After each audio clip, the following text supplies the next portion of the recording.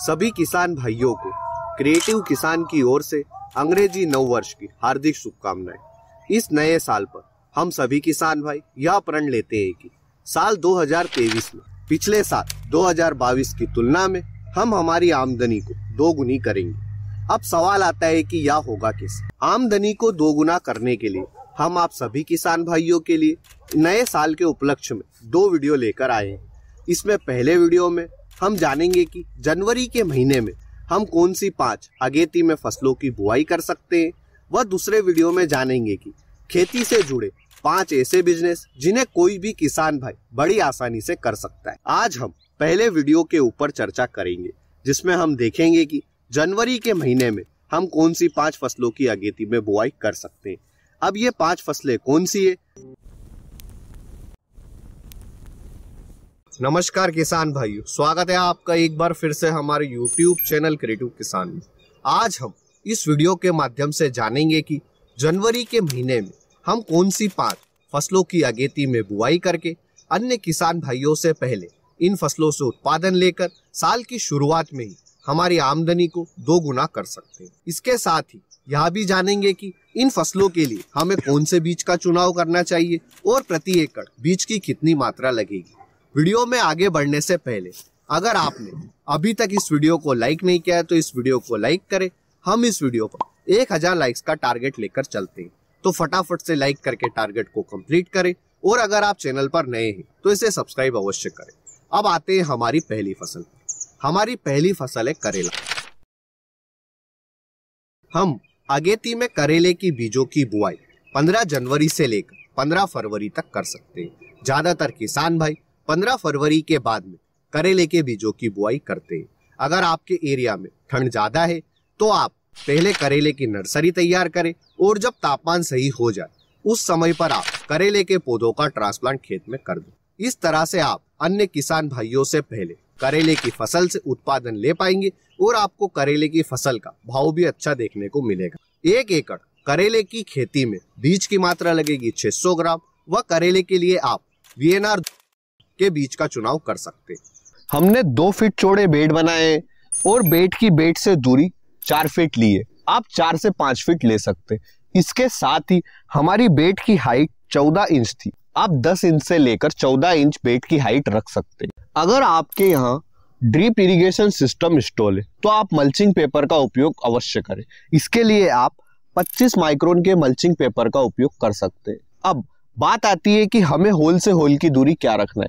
तो हम होल से होल की दूरी एक से डेढ़ फीट रखेंगे। हमने यहाँ पर डेढ़ फीट होल से होल की दूरी ली है। वह इसके साथ ही एक होल पर हम दो बीजों का छिड़काव करेंगे। आप देख सकते हैं कि हमने यहाँ पर दो बीज लगाए हमारी दूसरी फ़सल है खीरा। अगेती में आप खीरे के बीजों की बुआई सीधा खेत में एक फरवरी से बीस फरवरी तक कर सकते हैं। अगेती में खीरे के बीजों की बुआई का यह सबसे उपयुक्त समय। क्योंकि खीरे के बीज के अंकुरण के लिए 18 डिग्री सेल्सियस से अधिक का तापमान होना चाहिए। वह फ़सल के अच्छे विकास के लिए 25 से 30 डिग्री सेल्सियस का तापमान सबसे उपयुक्त माना जाता है। इसलिए आप अगेती में खीरे के बीजों की बुआई एक फरवरी से 20 फरवरी तक कर सकते हैं। खीरे के बीजों की बुआई आप बेड बनाकर करें। बेड की चौड़ाई ढाई फीट रखें। व एक बेड पर आप दो लाइन ले सकते हैं। एक लाइन की दूसरे लाइन से दूरी एक फीट रखे व खीरे के एक बीज से दूसरे बीज की दूरी दो से ढाई फीट ले। व एक बेड से दूसरे बेड के बीज की दूरी आप पाँच से छह फीट रखें। खीरे के लिए आप वीएनआर क्रिश सेमिनस मालिनी सेमिनस पद्मनी और सिजंता ग्लोसी के सीड्स ले सकते हैं। हमारी तीसरी फ़सल है भिंडी। भिंडी के बीज के जर्मिनेशन के लिए मिनिमम तापमान 12 डिग्री सेल्सियस तक होना चाहिए। व दिन का तापमान 24 डिग्री सेल्सियस तक होना चाहिए। इस कंडीशन में आप भिंडी के बीजों की बुआई कर सकते हैं। अब यह तापमान आपके एरिया में इसी समय पर है तो आप इसी समय पर भिंडी के बीजों की बुआई कर सकते हैं। और कुछ सप्ताह के बाद में तो आप कुछ सप्ताह के बाद में भिंडी के बीजों की बुआई कर सकते हैं। आप गूगल पर अपने एरिया का नाम लिखकर वहाँ पर वेदर लिखे और आसानी से अपने एरिया का टेम्परेचर चेक कर सकते हैं। अगेती में, जब हम भिंडी के बीजों की बुआई करते हैं, तब हम भिंडी के एक बीज से दूसरे बीज की दूरी एक फीट रख सकते हैं और एक लाइन से दूसरे लाइन के बीज की दूरी आप डेढ़ फीट रखें। भिंडी के लिए आप अद्वंत राधिका या फिर सीजनता ओए के सीड्स का चुनाव कर सकते हैं। एक एकड़ भिंडी की खेती में बीज की मात्रा लगेगी डेढ़ से दो किलो। हमारी चौथी और अगेती में सबसे ज़्यादा मुनाफा देने वाली फ़सल है तरबूज। अगेती में, तरबूज के बीजों की बुआई का समय है दिसंबर के अंतिम सप्ताह से लेकर जनवरी के अंतिम सप्ताह तक। अब दिसंबर का महीना तो जा चुका है, इसलिए आप एक जनवरी से तीस जनवरी के बीच में तरबूज के बीजों की बुआई कर सकते हैं।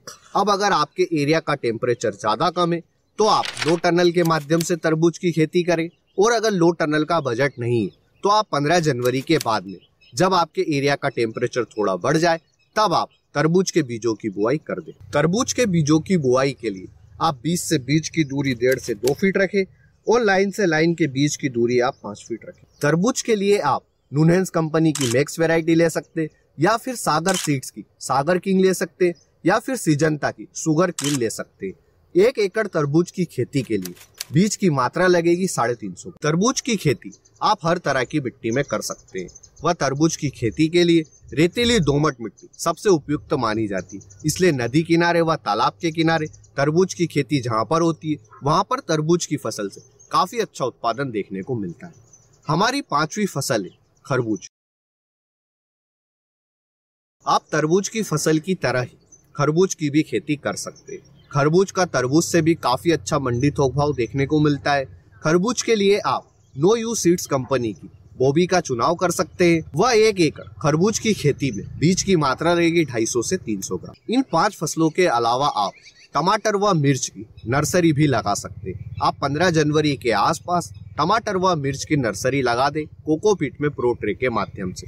किस तरह से लगाना है, इस पर वीडियो 15 जनवरी के पहले डिटेल में आएगा। इस तरह से आप अगेती में, जनवरी के महीने में इन पाँच फ़सलों की खेती करेंगे तो नए साल की शुरुआत में आपको काफ़ी अच्छी आमदनी देखने को मिलेगी।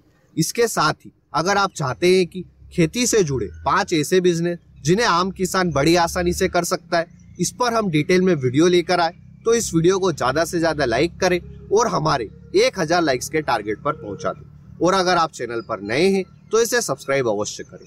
अगर आपके इस वीडियो से जुड़े कोई भी सवाल तो आप हमें कमेंट सेक्शन में पूछ सकते हैं।